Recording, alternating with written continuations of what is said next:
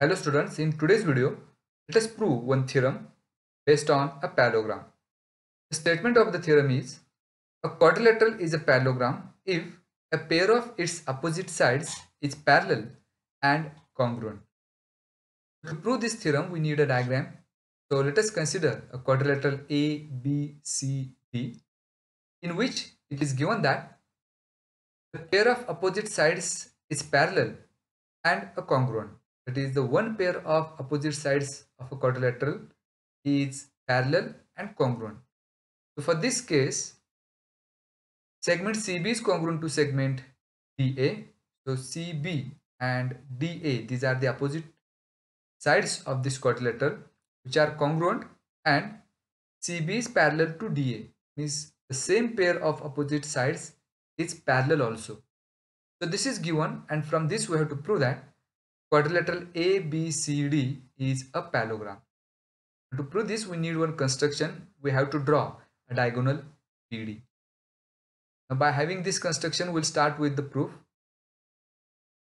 By doing a construction, that is by drawing a diagonal BD, we have got two triangles. Triangle CBD, that is triangle CBD and triangle ADB.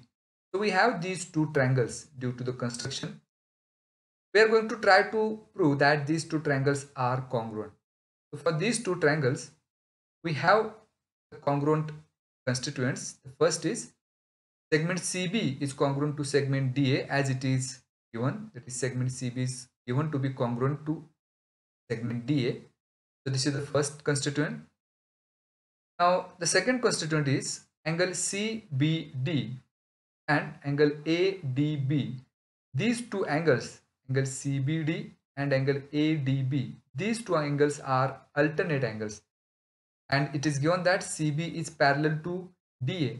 If these two lines are parallel and if we consider BD as their transversal then these two angles are alternate angles and we know that if two lines are parallel then the alternate angles formed are congruent. That's why this is the second constituent of these two triangles that is angle CBD is congruent to angle ADB. Now the third constituent is segment BD is congruent to segment BD as it is a common side for both of these two triangles. That's why these two triangles are congruent by SAS test because there are two sides and angle between them is congruent to the corresponding sides of another triangle and the angle between them that's why these two triangles are congruent by SAS test. So triangle CBD is congruent to triangle ADB. And we know that if two triangles are congruent, then their corresponding sides and corresponding angles are also congruent.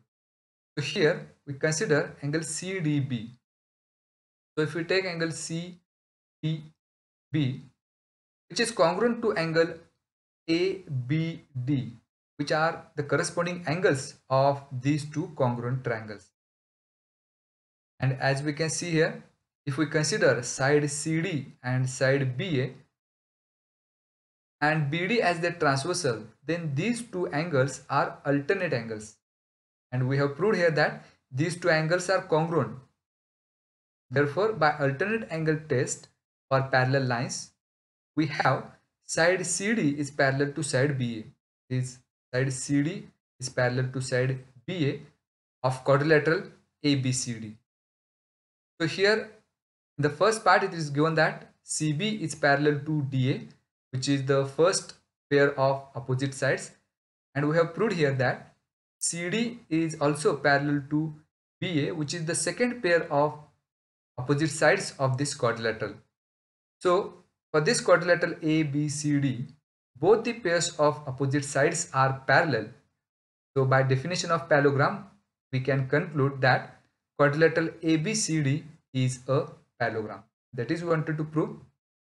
A quadrilateral is a parallelogram if a pair of its opposite sides is parallel and congruent.